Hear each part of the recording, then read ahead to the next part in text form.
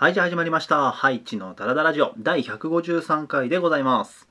で、今回テーマがどうする夏受験生編と、こんな感じで喋っていきます。で、下の方が自分のホニャララを知ってるっていうのと、各教科の勉強法といった感じで、まあ、喋っていきますので、よかったらお付き合いください。で、えっと、先週に引き続き、またちょっと深夜撮影なので、ちょっと声が、トーンがね、静かめなんですけど、そこはね、お許しください。よし、じゃあ行きましょう。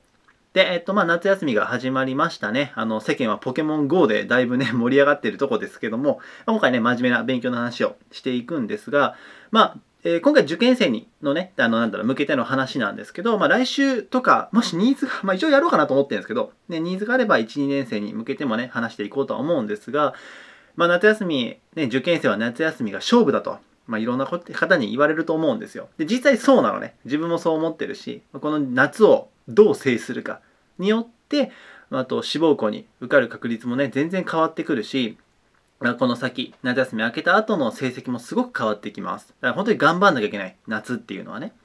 で、まあ夏休み入ってすぐだと、まあ、えっ、と、塾とか行ってるとね、夏期講習もガンガン入ってくるから、ああ、もう受験生だって感じになってるかもしれないんですが、えー結構7月中って余裕が出てくるんですよ。気持ちで。これ受験生でも。あの、もちろん大学受験とかになるとまた違くなってくるんですけど、高校受験とか、まあ、初めてね、人生初めての受験だったりすると、いや、まだちょっといいかな、みたいな。そう。で、その流れで行って、8月、8月から頑張るぞ、みたいな。って思ってたんだけど、8月入ってみたら、あれ？気づいたらお盆？あ、やべえ、あと2週間で夏休み終わりやん、みたいな。感じで焦ってくるみたいな負の循環になるので、えー今すぐ頑張りましょう受験生はねでその中で、まあ、最後に各教科の勉強法もさっくりねえっと全部話しちゃうとすごい長くなっちゃうんであのサクッと話していこうと思うんですけどあのその勉強をいざ始めようって思う前にすごく大事なことがありますそれがオレンジの上の部分で自分のホニャララを知ってるかどうかっていうとこなんですがこれ何個か入るんですけど一番自分がよく言うのは弱点なんですこれ自分の弱点知ってるっていう。で、あのまあ、この段階で志望校が決まってる子、まあ、決まってない子いると思うんですけど、あの、まあ、決まってる方をちょっとイメージして話していきます。例えば、まあ、模試とかも受けてると思うので、じゃあ現段階でじゃあ模試で偏差値50だとしましょう。ちょうど平均点取れるぐらいですね。じゃあその子が58の高校を目指しているというふうに思ってください。ちょっと上げなきゃいけないですね。あ、ちょっとじゃないか。8だと結構上げなきゃいけないね。で、その中で、あのよくね自分今メールとかでも質問いただきますし塾講師やってた時もねよく質問を受けてたんですけど何やったらいいか分かんないっすっていう。まず何やったらいいですか？みたいな。多分ねこれ口にしたことある子多いと思うんですけどまあそう聞くよね。自分でもそう聞くと思うもん。何やったらいいか教えてよみたいな。そう。でもちろん塾講師やってる時だったらある程度のアドバイスはするんだけどでもその時でもやっぱり聞くもん。で自分に今足りないものは何なのって。弱点どっか分かってる？みたいな。でこれはねもちろんあの塾講師も学校の先生もプロなのでその生徒のなんだろう傾向というかテスト結果とか見ればあ大体これがちょっと弱いなとか。じゃあまずここをえなんだろう練習してでこの後これ練習していこうか。みたいな思いつくんですけど。でも人に聞く前にやっぱり自分で今までのテストの結果とかを見た時に何が苦手なのか何が弱点なのかっていうのを自分で把握してるかどうか。それってすごく大事なのね。でこれはやみくもに英語が苦手とか数学が苦手とかいう話ではなくって英語のじゃあ何が取れないの？それが長文なのか。それとも長文の前にも単語が苦手なのか。ね違うじゃん。そこのね英語が苦手のランクも。数学が苦手なのも計算がそもそもまず苦手なのか。それとも関数1次関数とか比例反比例2次関数。まあ2次関数までやってない子もいると思いますけどが苦手なのか図形が苦手なのか。そこをちゃんと自分が把握しなきゃいけないの。なぜかっていうとねちょっとスポーツに例えを置き換えます。例えばじゃあどうしようかな。じゃあサッカーにしようか。まあ何のスポーツでもいいよ。これは吹奏楽とかでも構わないんですけど闇コン練習するぞみたいな。よっしゃサッカー練習するぜ。って言ってること俺はセンタリング上がった時ボールがねこう上がってきた時のヘディングが苦手だと。フォワードなのに。ねこう得点取らなきゃいけないポジションなのにそこが苦手だから。って分かってじゃあちょっとさ友達とかねあの同級生誘ってセンタリング上げてくれと。ヘディング練習したいから。って言ってヘディングの練習をしてる子。どっちが上手くなるって。それはやっぱり苦手なとこをちゃんと把握してそこを重点的にやってる子のが上手くなるよね。闇子にサッカー上手くなるぜって言ってる子に比べたらさでこれは勉強も同じ。闇雲に数学が得意になるぜ。数学できるようにするぜ。って大事だよ。勉強量をねいっぱい取ってやるのは大事なんですけど関数をとにかくできるようにしたい。とかね。そういうふうに目的を持って自分の弱点から。弱点から何を克服したいのか。っていう目的を持って勉強するかどうかはめちゃくちゃ変わるから。同じ時間勉強したとしても。1日3時間って。それを毎日続けた子。A 君 B 君いた時にそうやって目的を持ってやったことを闇雲にやった子。全く違うから結果が。いい？だからひとまずもちろん人に聞いていいんだよ。でもその前に今まで自分の結果をちゃんと見つめるの。問題を解きたいとなんだ？テストの回答用紙が取ってあるかいちゃんと。もし特にもしね。で何をミスってるのか。得点が低くてもいいも100点中10点20点でも構わない。ミスった80点の中でまず何を取らなきゃいけないのか。っていうとこをまず探します。でその一歩先に行くんだったらみんなが住んでる地域によってもちろん私立受ける子公立受ける子ってね分かれますけど同じ公立って言ったって北海道と例えばね東京と、まあ、大阪と分からないですけどその都道府県によって敬語が違うの。すごいこれが出てくる。すごいこれが出てこないって、あるんだよ。で、もしそれはね、ちょっと把握しにくかったら、えっ、ー、と、先輩とか、あとはやっぱり塾の先生、学校の先生に聞いてみるといい。うん。例えば、じゃあ数学を自分で分析しました。苦手なのが平面図形と確率とじゃ関数だとします。この3つがちょっと弱いなと自分で。いい？先生にこの3つ苦手なんですけど、どれがここの地域よく出てきますか？どれ先にやったらいいですか？とか聞いてみ。絶対答えてくれるから。で、もしそれを、特に塾の先生にそれ聞いて、いや、知らんから自分で調べろって言われたら、その先生と疑った方がいいわ。ちゃんと仕事せえと思ってしまうからね。個人的にはね。うん。ちょっと話それちゃいましたけど、ひとまず自分の弱点をね、ちゃんと把握する。弱点だらけとか言わないの。0点取ってない限りは、もちろん500点満点、100点かける5の500万点中0点取ってたら全部弱点って言ってもしょうがないかもしれない。それは。いい？闇雲にやんなきゃいけないかもしれないよ。でも、それでも10点、20点、30点取れてるんだったら、その取れてるところ、間違ってるところがあるわけだよね。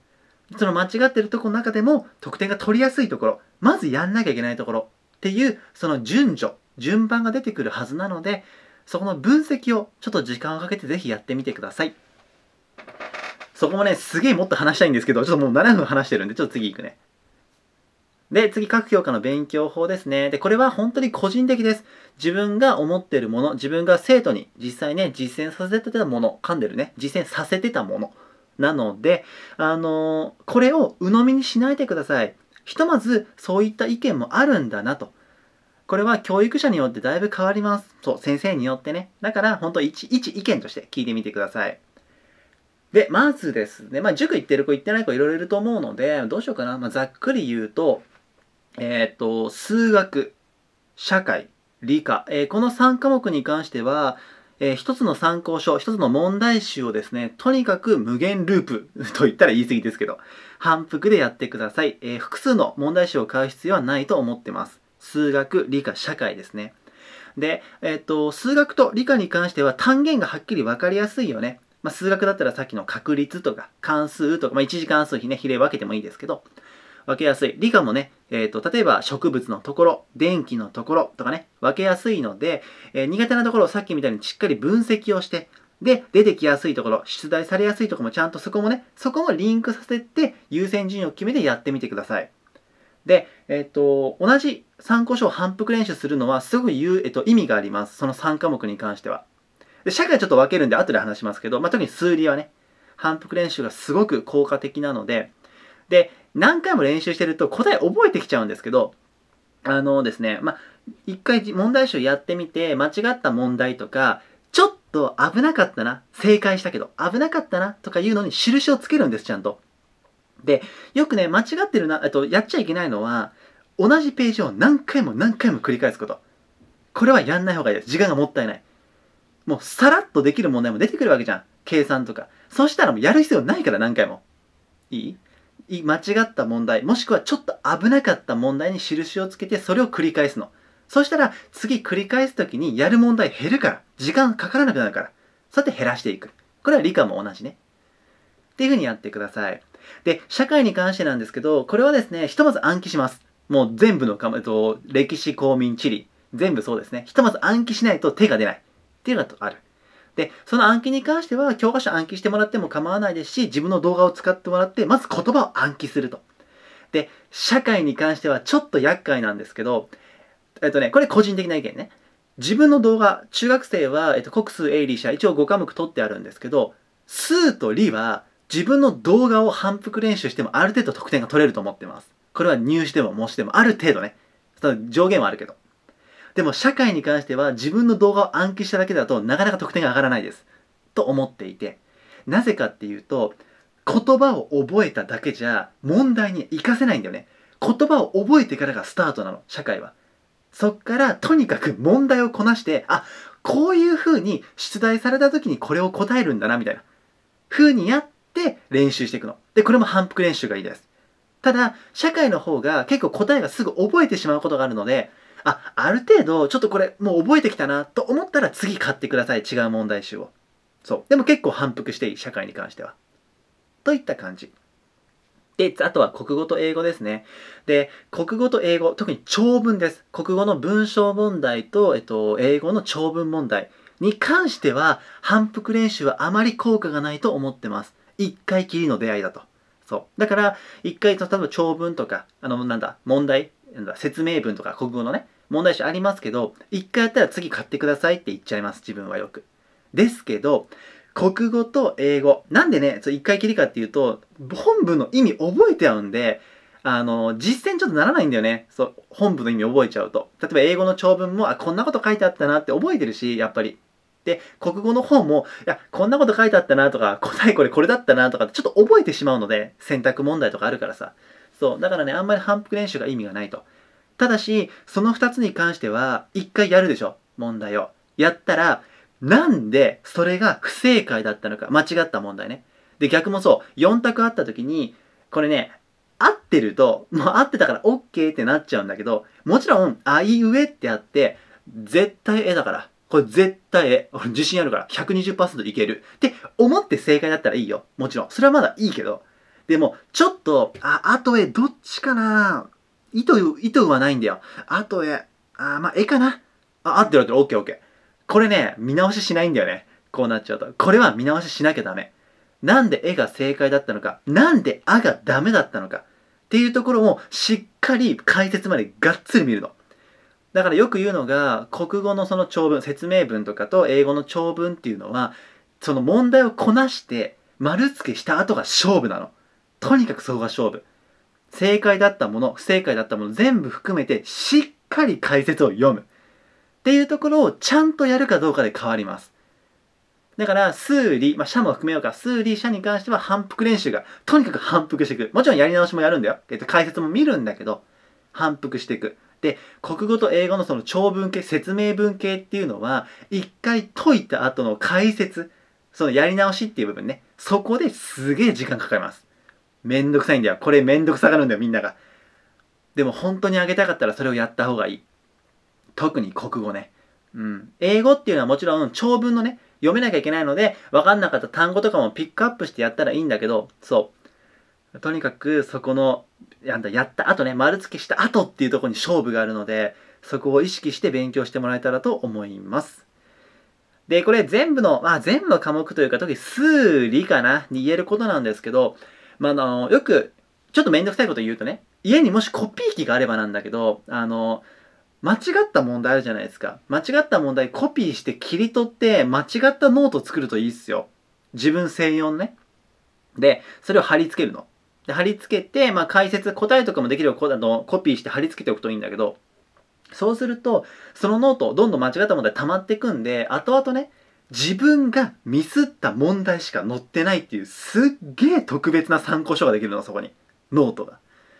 これね、後で効いてくる。すごい効いてくる。いつかって冬休みぐらいに効いてくるから。溜まってくるんだよ。溜まってきた時に、何勉強したらいいだろう。ある程度やってきてるんで、もう冬休みぐらいになると。こっからどうしようってなった時に、できればさ、自分がミスった問題とかをやりたいわけだよ。でも探すの大変なの。いっぱい問題集あるから。そこで、コツコツコツコツそうやってコピーして貼ってってやってきたりすると、すごくいいです。で、コピー機がない子であれば、あのね、問題集ってもうちょ当然ですけど両面印刷されてるじゃないですか。ページめくったら白紙とかないでしょ。だから、えっと、表のページ使っちゃうともう裏使えなくなっちゃうんですけど、もうその参考書切り取ってもいいです、ハサミで、そのまま。そう、裏はちょっとね、あの、殺してしまいますけど。で、これね、結構女の子にね、やらせると最初嫌がるんですよ。えー？みたいな。でもね、よく言うの。え、これ参考書さ、なんかね、大切なものとして取っておくの？みたいな。え、これ何 ?10 年後に私これ頑張ったな？みたいな。見る？みたいな。見ないでしょ。絶対受験終わったら捨てるから。ほとんどの子が。であれば、有効に活用しよう。切り取ってぐちゃぐちゃになったっていいじゃん。そう。そうやって自分の特注の参考書ができるんだったら、そっちの方が大事だよ、みたいな。説得すると、割と100%、まあ99%ぐらいは、そっかなって言ってやってくれるんですけど、これはね、やった方がいいですよ。あとあと本当に有効になるから。で、さっき言ったように答えもちゃんと取っておくんだよ。答えも貼り付けておく。それは別ノートで作ってもいいし、えっと、1ページのノートに上に問題を貼って、その裏に答えとか。で、見る、見ないよっていう自信があるんだったら下に答え貼ってもいいですけど、すぐ、えっと、問題と答えがすぐパラパラって見れるような状況をうまく作るといいです。自分特製のノートをね、ぜひぜひ参考にしてみてください。といった感じで、本当はね、12分ぐらいで収めようと思ったんですが、話しすぎましたね。本当はもっと喋りたいことあるんですけど、ひとまず、今回はね、もう16分話してますんで、ここまでとさせていただきます。では、ほんと駆け抜けて話してしまいましたが、今回はハイチのダラダラジオ第153回、どうする夏受験生編を喋らせていただきました。えー、今回もね、ここまで聞いていただいて本当にありがとうございました。で、次回はどうしよう？1、2年生編、ちょっと話してみようかな。あの、7月の末なんだよね。で、やっぱり、えっ、と、もちろんね、高校2年生とか受験意識してる子なんかね、受験勉強始めてる子もいると思いますけど、やっぱりね、1、2年生のうちっていうのは、特に7月中は、もう夏休みにハッピーです。もう で、8月入ってから、なんと、なんだ、宿題に追われるみたいな感じになっちゃうんですけど、でもやっぱり、この先ね、受験は必ずやってくるものなので、まあ、高校生などね、あの、社会人になる子もいると思いますけど、就職する子もいるかもしれませんが、えっ、ー、と、受験がやってくるものなので、こういうことを1年生の子もね、8月にやった方がいいよっていうのを喋れたらと思いますので、もしよかったら次回の方も聞いてみてください。で、最後にいつもね、やってる Twitter の方ですね、右下に、アット、ハイチ、アンダーバー、とある、あの、ひらがな、ハイチで検索してみてください。これ漢字で検索しちゃうと出てこないので、ひらがな3文字、ハイチで検索してもらえば一発で出てきますので、よかったらチェックの方もお願いします。よしという感じでいっぱい喋りましたね。はい。では、今回はこれで終わります。以上です。ありがとうございました。